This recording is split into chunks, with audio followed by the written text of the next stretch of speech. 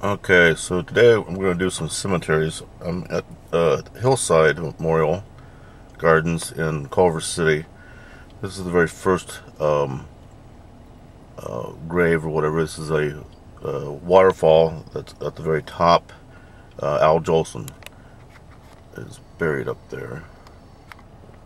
And then from there we'll go find Jack Benny, I think. This has got to be the grandest grave I've ever seen, Al Jolson's. He died in 1950. And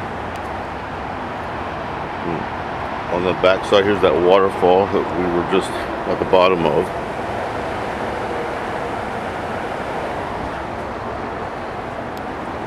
Of course, Al Jolson's known for singing Mammy, the first major actor in a sound picture.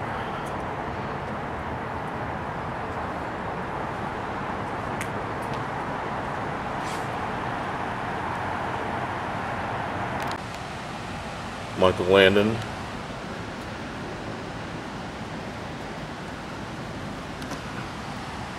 Died in 1991. I'm pretty sure these rooms are all locked. Yeah. But this is his grave. Looks like he's got one of his awards over there.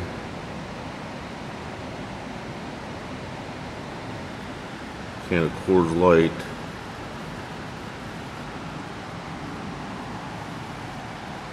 Things the family left here apparently.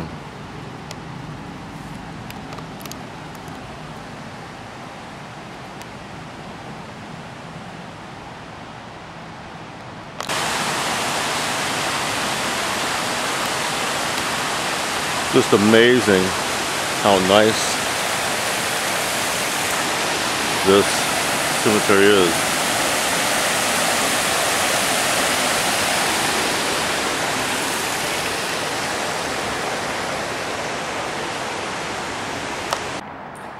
Well, here's a comedy icon, Jack Benny. Died in 1974.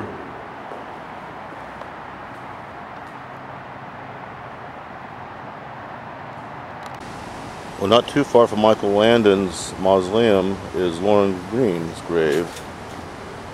Died in 1987. The great voice of Canada, Bonnie Steele. He's buried here in the ground. And actually, just right around the corner there was Michael Landon, so he's not that far away. Just, just a couple steps away from Lorne Greene against the mausoleums, here's Dinah Shore. Died 1994. This next grave is supposed to be really easy to find once you find this mural of Rabbi blessing a new couple when they get married and they also mentioned something about his hands of a Vulcan sign, which I guess is a, um, a Jewish hand gesture, which is funny because um, Leonard Nimoy was Jewish. Up there he is, Milton Berle, died in 2002, and it was one of the easiest ones to find. By the way, that was the the Grand Mausoleum we were just in. Jack Benny and Michael Landon are buried. So I think this will be the last grave I look for here at Hillside, but this is Moe Howard, one of the Three Stooges. Seem to be a lot of comedians buried here. I had one more I was going to try to find, but I don't think I'm going to be able to find it. It's the uh, guy who started Casablanca Records and discovered Kiss, named Neil Bogart. So I did find uh, Neil Bogart's grave. It's it was back in the Great Mausoleum, which there's the Al Jolson thing that we were we saw earlier, but it's in the basement. That's why I couldn't find it on the map. Neil Bogart founded Casablanca Records, discovered Kiss, one of the first bands, I think the first band that he ever um, signed to the label. Died of cancer in 1982. They actually are making a movie about his life, uh, starring Justin Timberlake, I understand. I think his sons had something to do with producing that. But he's buried down here in the uh, Court of Patriots. And so if anyone ever wants to find his grave, that's how you find it. It was simple once the guy told me how to find the basement down here. So we're at the Holy Cross Cemetery now in Culver City. Kind of unusual little sanctuary area. Not sure what kind of rock that is, but it's very intriguing. Trees grow out of it. So not too far from these stairs, it's about four or five grave rows, is uh, Bela Lugosi's grave.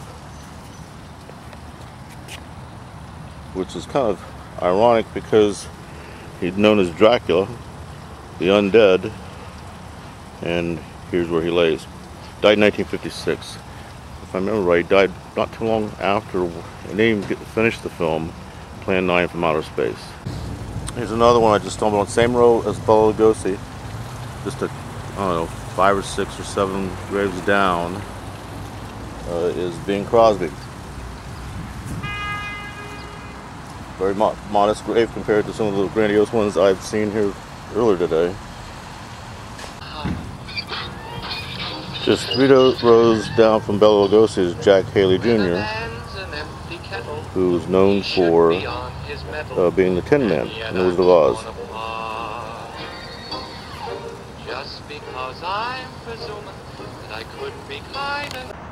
Alright, right next to the where we were at is an interesting grave with Sharon Tate who, and her unborn child. Looks like some other members of the family, sister, uh, buried here. Charles Manson killed her with the Manson group. This is where she lays. As I was walking out, I noticed the grave over here, just spotted it. Rita Hayworth. Died in 1987. Okay, I'm gonna, I think I'm gonna head over to the mausoleum. I went, I just noticed the uh, picturesque view of Los Angeles from the top of this hill.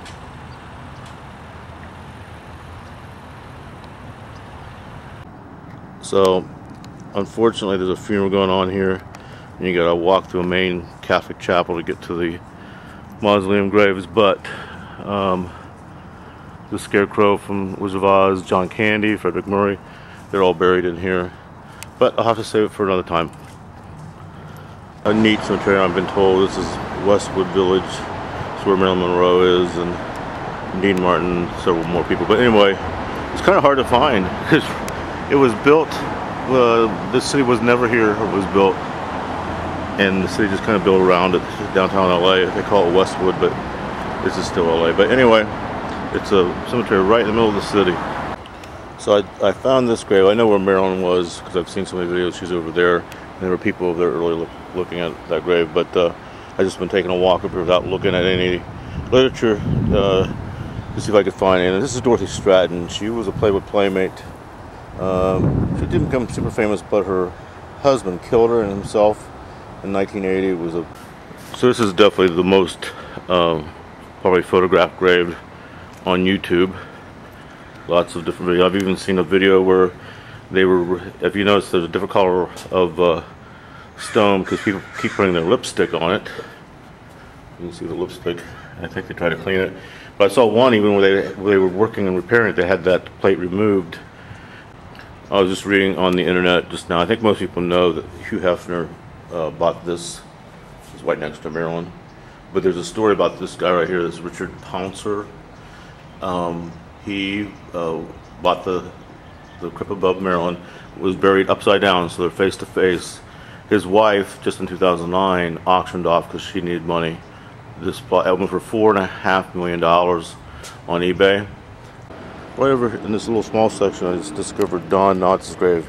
I knew he was buried here. In fact, I'd seen pictures, but I'd not ever seen a tombstone like this. This has to be brand new. I, I would say that it's within six months old, if it's not, if it's not even newer. It's all shiny. Uh, he did have this very simple gravestone with his name and date on it.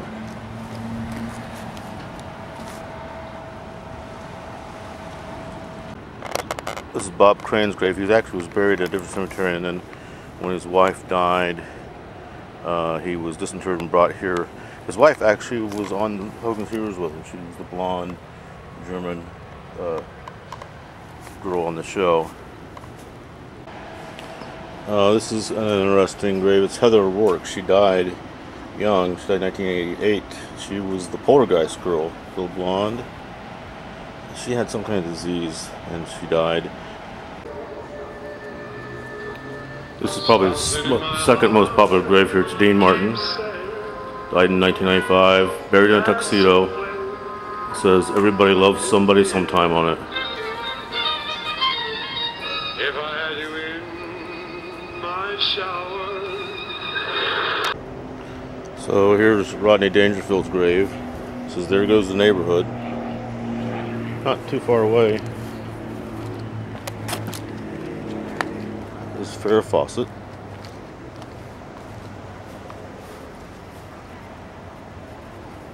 Merv Griffin. And on his grave it says, I will not be right back after these messages. Farrah died. Uh, she didn't even have, fairly recently, doesn't even have a marker or a date on her marker. Somewhere here's, I think it's down here, Walter Matthau and Jack Lemmon are buried fairly close to each other. Billy Wilder's buried somewhere near them. Uh, he wrote and directed some of their movies. There's Walter Matthau.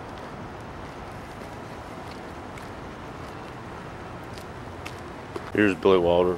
It says, I'm a writer, but then nobody's perfect. Uh, Carroll O'Connor's buried right next to him. It's Archie Bunker. And Jack Lemmon right next.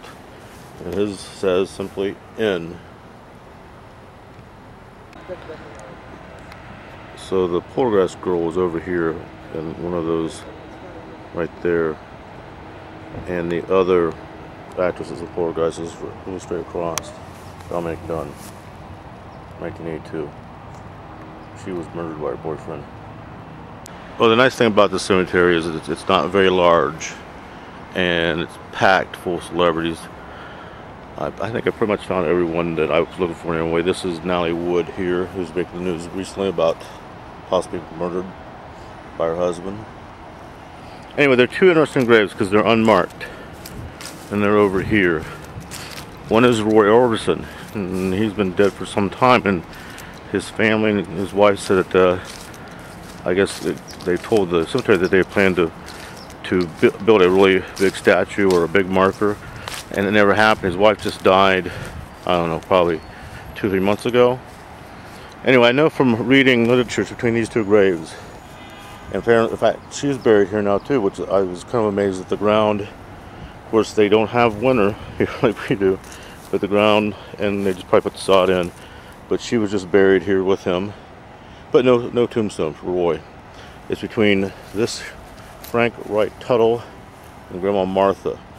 Um, if you ever come here, there's a tree there, and there's the entrance. And then just right, the same row is Frank Zappa, who's also buried here and doesn't have a marker. And I'm not sure if that was his wish or what, but he died of prostate cancer. Oh, it's been a while. And he is buried. Let me find it here a second. Uh, I found it earlier because there's a purple rock with a face on it someone laid in the spot. Here it is, right here. That's the only marker for Frank Zappa. But he's between Lew Ayres and Christopher Denny something. And that's where Frank Zappa is buried. And he probably most likely is here.